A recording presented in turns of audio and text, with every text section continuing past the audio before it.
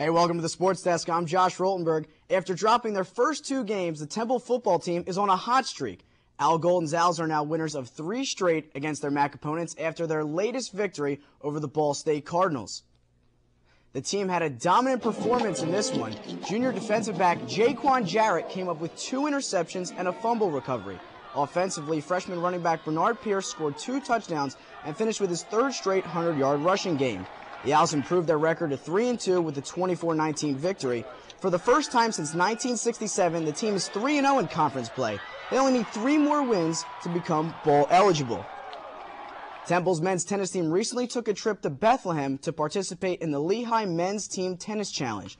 The Owls won two singles against Delaware and two doubles matches against Moravian. The Rams brothers Philip and Casper teamed up once again for their fifth straight doubles victory this fall. The team's women's soccer team, Temple women's soccer team had a hard-fought battle against Duquesne at the Ambler Sports Complex. Goals by the Yurkovich sisters and a walk-off from Nikki Kahn proved too much for the Dukes as the Owls scraped past 3 to 2. Kahn, the sophomore forward, now has a team leading 8 goals this season. This victory gives the team their fifth win of the year, first in conference, and ended their seven-game losing streak. The men's soccer team had been fortunate enough to have what could be a Temple Athletics Hall of Famer. Updates Joe Polinsky has more. Someone is flying high for the Temple men's soccer team this year, and that someone is Noon. Showing speed, agility, and leadership, senior midfielder JT Noon has compiled one of the best soccer careers in recent memory. So far this year, Noon has five assists through eight games, and Atlantic 10 best. Earlier this year, Noon set the new school assist record with his 21st career assist, surpassing four Temple soccer greats that Noon, despite his record, has the utmost respect for.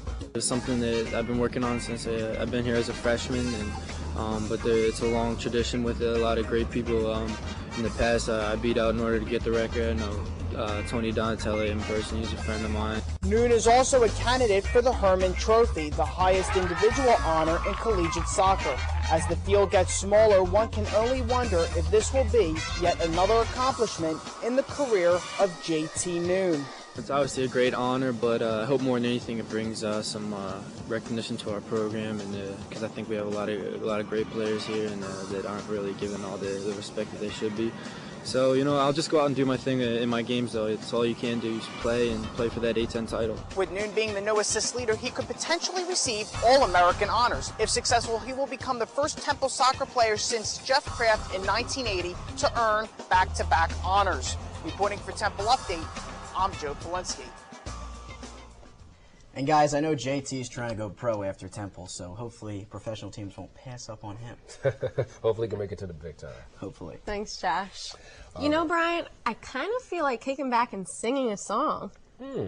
Well, before you do that, let's toss it to Updates Jennifer Lee with the music trivia question of the week. Good idea. It takes a brave person to get up and sing at a karaoke bar, and they're going to need some help to come up with the answer to this week's music trivia question. So this week's question is, what is the number one karaoke song of all time?